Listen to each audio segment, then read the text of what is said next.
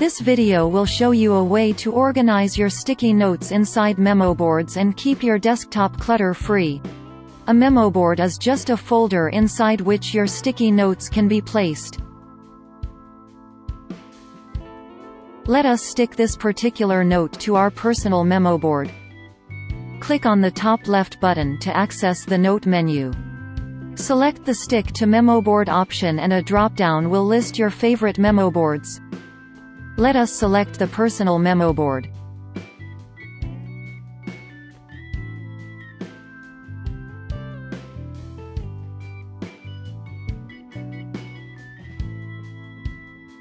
We will now look at the Notes browser. Right-click on the Notezilla icon and open the Notes browser. The Memo Boards pane lists all the memo boards. This view lists down the notes contained in the selected memo board. Click on the note from the list. The pressed button indicates that the particular note is also stuck to the desktop. The note we stuck earlier is right here inside the personal memo board. We will create a new note in this memo board. Right-click in the white area and create a new note.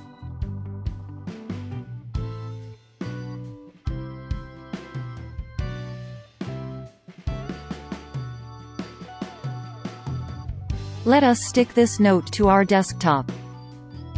Open the Note menu again and stick the note to desktop.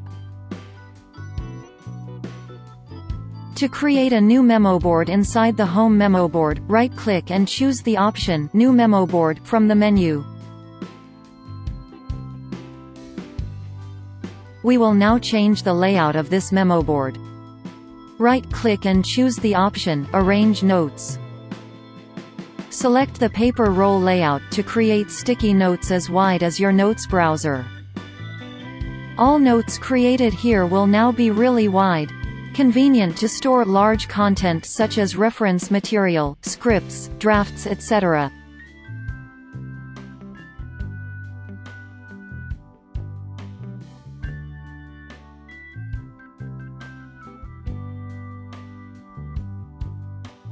You can also mark a memo board as favorite for faster access. Thank you. Download Notezilla for free today from our website www.conceptworld.com.